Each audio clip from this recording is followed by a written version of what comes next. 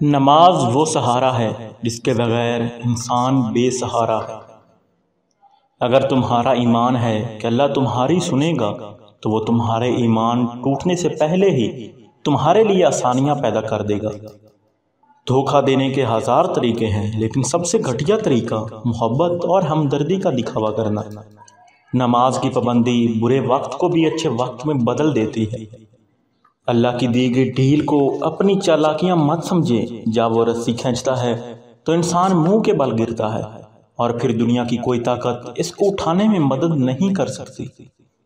جو شخص اللہ تعالیٰ پر ایمان لاتا ہے تو وہ اس کی حفاظت اور پناہ میں آ جاتا ہے اور جو اس پر بھروسہ رکھتا ہے، وہ اپنے سب کام اس کے سپرد کر دیتا ہے۔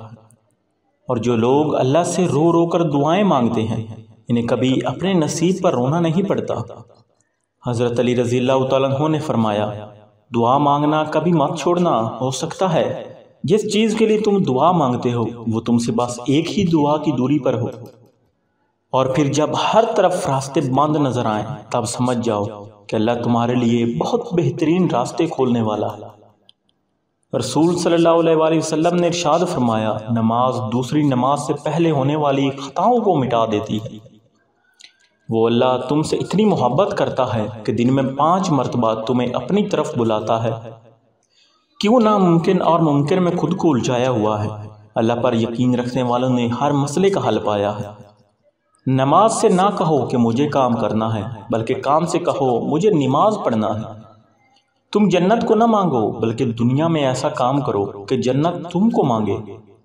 اور جب تمہاری مشکلات بڑھنے لگے تو سمجھ لینا کہ اللہ تمہیں کوئی بلند مقام دینے والا ہے۔ اور بے شک قرآن مجید دلوں کا سکون ہے اور ہمارے لیے ہر الجھن کا واحد حل ہے۔ خوشی حاصل کرنے کا ایک ہی راستہ ہے اور وہ یہ ہے کہ ان چیزوں کے بارے میں فکر کرنا چھوڑ دے جو آپ کی طاقت اور آپ کی مرضی سے باہر ہے حضرت علی رضی اللہ تعالیٰ عنہ کا فرمان ہے کہ بچے کو جب تکلیف یا بیماریاں آتی ہیں، اللہ اس بچے کی بیماری کے بدلے میں بچے کی ماں کے گناہ معاف کرتا ہے۔ اللہ سے مانگنے کی ایک خوبی یہ بھی ہے کہ آپ اپنے جذبات کو الفاظ کے روپ میں نہ بھی بیان کریں، وہ پھر بھی آپ کے جذبات کو آپ سے بہتر جانتا ہے۔ نماز عادت بن جائے تو کامیابی مقدر بن جاتی ہے۔